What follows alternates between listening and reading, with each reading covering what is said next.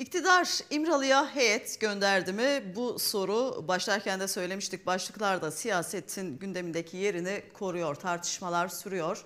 Eski HDP eş genel başkanı Selahattin Demirtaş daha önce konuyu gündeme getirmişti. Erdoğan İmralı'ya heyet gönderip ne istemiş olabilir sizce diye bir soruyla Ahmet Türk sonrasında değerlendirdi. Nusaybin mitinginde iktidar İmralı'ya heyet gönderdi dedi. Net olarak orada bunu duyduk.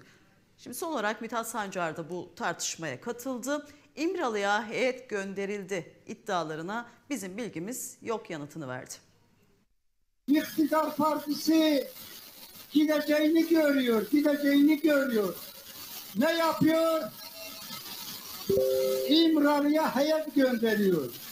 İktidarın İmralı'ya heyet gönderdiği iddiası siyasetin gündeminde. Önce HDP eski eş genel başkanı Selahattin Demirtaş sosyal medya hesabından bir haberi alıntılayarak Erdoğan İmralı'ya heyet gönderip ne istemiş olabilir sizce? İstediğini alamayınca yine hepimizi terörle işbirliği yapmakla suçlamaya başladı anlaşılan ifadelerini kullandı. Ardından Ahmet Türk Nusaybin mitinginde böyle konuştu. İktidar partisi gideceğini görüyor, gideceğini görüyor. Ne yapıyor? İmralı'ya heyet gönderiyor. Peki yıllarca aile görüşünü yasakladınız. Avukatlarıyla görüşleri yasakladınız. Şimdi Sayın Öcalan'ın kapısına gidiyor.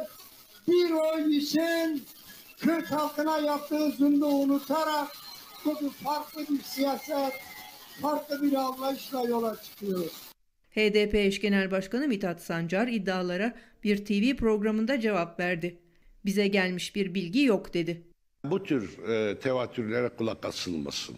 E, girişimde bulunmuş mu bulunmamış mı doğrusu bilmiyoruz. Yani bize gelmiş bir bilgi yok. Bu konuda yaratılan spekülasyonlara kimse kulak kabartmasın. Devlet sürekli Öcalan'la görüşüyor. AKP'nin Diyarbakır'da birinci sıradan milletvekili adayı gösterdiği Galip Ensarioğlu Medyaskop'ta konuşmuştu.